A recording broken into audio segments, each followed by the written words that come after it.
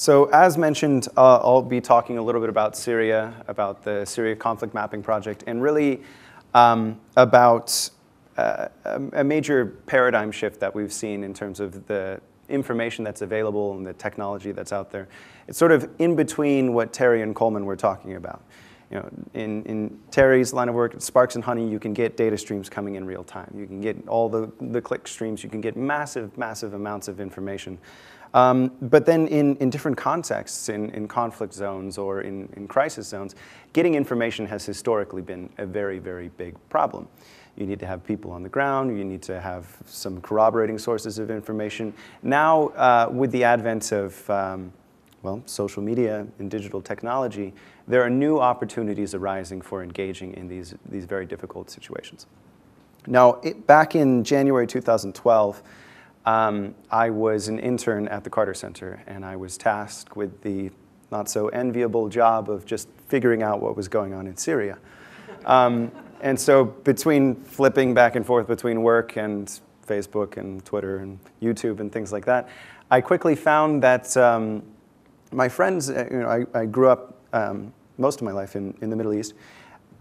My friends were posting a whole bunch of things on, on social media, on, on Facebook and on YouTube, which uh, not only was the information better than what was coming through traditional media and reports and, and, and um, think tanks, uh, but it was, it was just way more plentiful.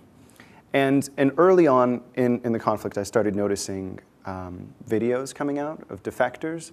You started to see Twitter accounts coming up of armed groups in Syria. So you know, what, that begs the question, what does an armed group in Syria uh, want to talk about on Twitter? Who do they follow? who follows them. It's all publicly available information, and it's the sort of thing that you can download.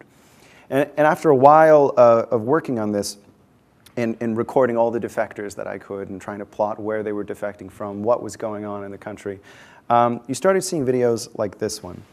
Um, I'll, I'll, read in case you can't all see it. This is a, a formal prayer introduction, fairly standardized, though there's some differences between um,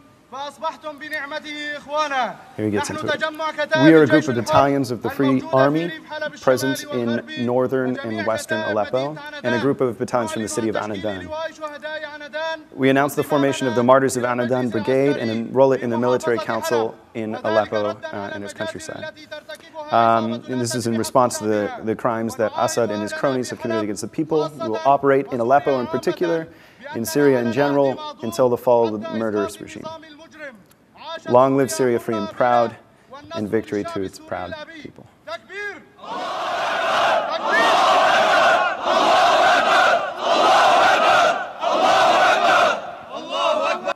Like three guys at the end didn't get the memo on how many chants they were going to do. but uh, so in this video, you saw a large group of people. You can count the number of PEDs uh, that you see. You see that they've got a a T-55 tank a couple of um, RPGs. Some of them are in uniform, some of them are in civilian clothing. They said the name of the town uh, where they were forming in the area that they were forming in. If you look on satellite imagery, you can see a partially built housing structure in that exact same area. You can pinpoint where it was filmed. Um, and, and so we started collecting this. Uh, we got together a team of researchers that were already working on trying to collect some of them, and we, we enabled them more. And um, to date, we've recorded about 7,000 armed groups forming in Syria. Now, they're not all independent groups. As, as this one mentioned, uh, in this video, we got two different group names. We got the name of the group and the name of the group that it was part of. He's saying we're enrolling ourselves in the military council in Aleppo and its countryside.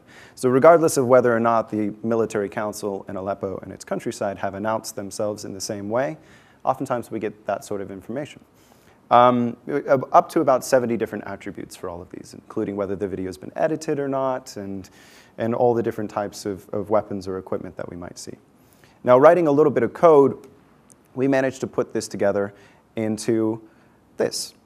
So this dot, oh, second, third, fourth, these are, this is a time lapse of armed group formations in Aleppo.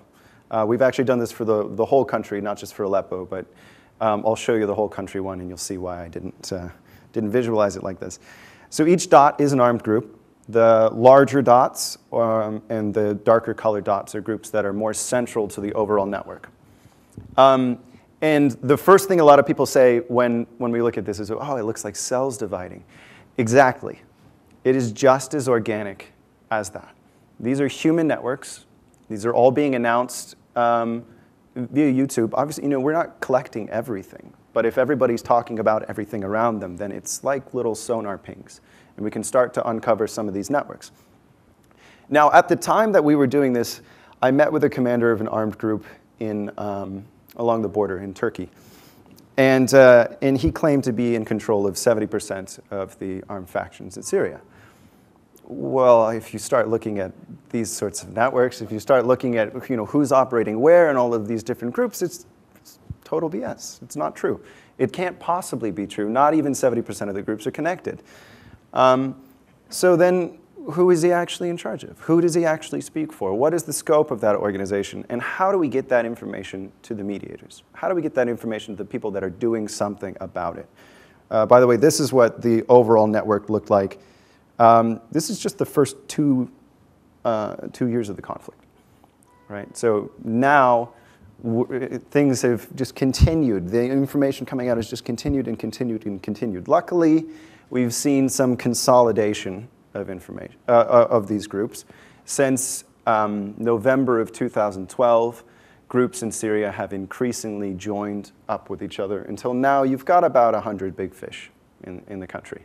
And most of those groups, the most of those 100 major groups, operate under a couple of different umbrellas. They're, they're fairly cohesive to the point that you, know, you can have a, a mediation team of these groups present in Geneva now that, that most people in Syria consider to be representative, and it has actual power to engage.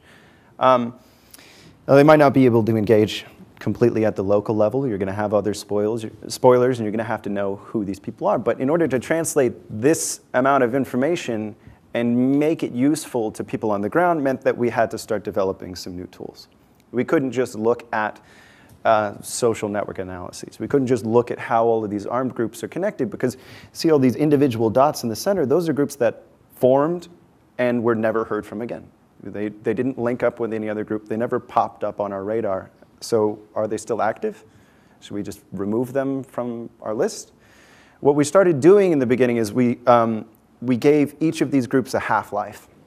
And if they didn't continuously appear, if they weren't referenced in other armed group formations, if they didn't come through our database, then they were marked as inactive automatically. And so we could start, start sorting through a whole bunch uh, more information, but as the number of new armed group formations started slowing down, so did our signal on which groups were really active. And we had to expand from just looking at armed group formations and relations to look at armed group formations and relations and conflict events and link those events to the groups themselves. And eventually, that grew again and again and again. We now track five different aspects of the conflict. Um, armed group formations, conflict events, sightings of sophisticated weaponry, because we started to understand some patterns of what weapons we were seeing in the hands of some groups and not in the hands of other groups, and how those weapons flowed through the country, and, and so on and so forth. And then two other aspects which are supplementing our social media based analysis, and that is assessments of humanitarian living conditions and the movement of internally displaced people. And those come from networks of contacts on the ground in Syria, who we do not solicit or accept information related to the military side of the conflict, but more than willing to share info about the availability of humanitarian aid in that area, if they're being reached or not, if there are internally displaced people. And it actually serves as a corroborating source of information for us.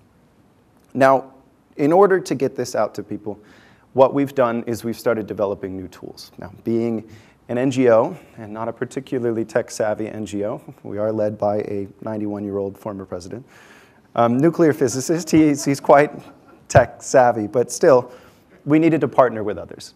Um, we partnered with Palantir Technologies, uh, sorry, Palantir Technologies, in order to visualize all of this data that we're getting. And so we didn't have to have it on some GIS system and then social network analysis and whatever else.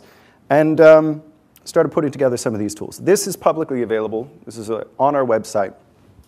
Each dot is a city or town in Syria, and it's been coded by who controls it. You know, if you, if you gather enough evidence of uh, force-on-force clashes, all of those clashes will start making a line. You can see where the front lines are. You can see which side's being aerial, you know, receiving aerial bombardments and things like that. You can determine the front lines just by plotting together all the videos and, and conflict reports that you get. Once we did that, we coded all the communities on one side or the other by who controls it. And anytime a new event comes through our system, which is a, a location capture event, it auto updates it.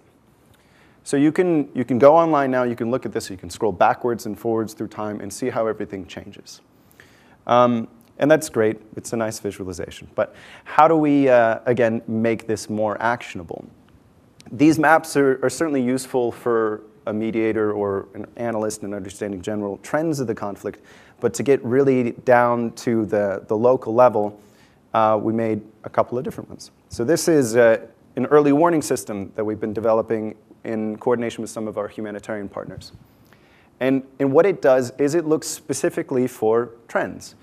So we collect information from uh, the Syrian Observatory for Human Rights. You've probably heard them referenced in news articles, um, as many different videos as we can. And we've been developing new tools for that. I can talk about those in, in a second as well.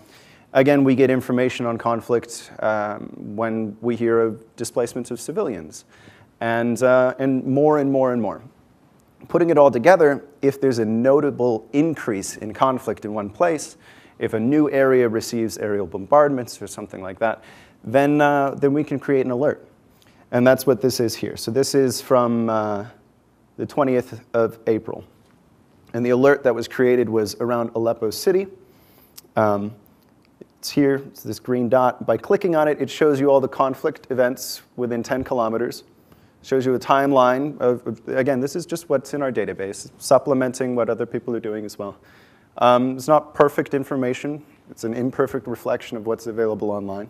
But still, you can start seeing where things have been happening, where the increase was, and then up here on the left, uh, or um, your right, this is the um, uh, visualization of our data on past civilian displacements. So these trends that we're looking for are things that we have and our partners have noted um, preceding internally displaced people movements. So if, if there's an increase in some place, this looks like similar increases we've seen before, this looks like past displacements. Well, where did everyone from this area flee to in the past? The red dot is where our alert is, and this heat map shows where people have fled from and to. So if you're going to pre-position some humanitarian aid, this can help you in making those decisions, just being able to visualize all the data that we've seen in the past and then project forwards. More recently, um, it's a little bit washed out here, but this is a close-up of Aleppo City um, ceasefire violations last week.